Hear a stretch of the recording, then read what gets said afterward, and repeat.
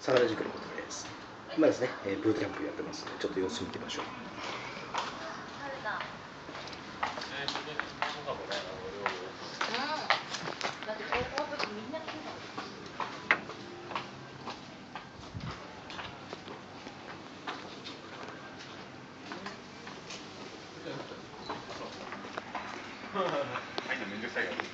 これこ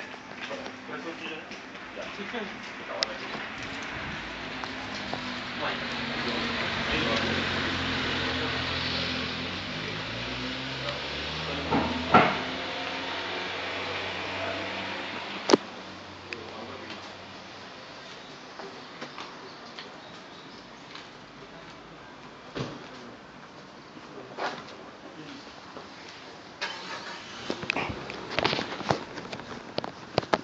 はい、えー、真剣に勉強しますね。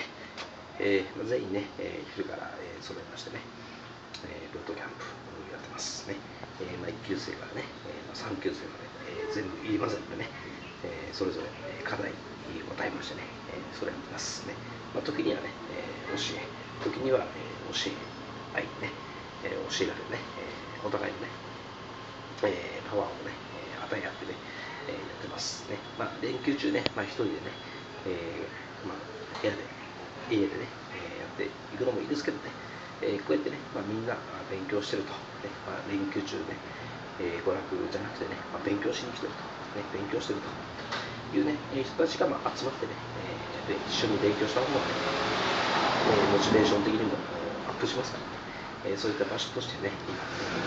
サムライズブートキャンプ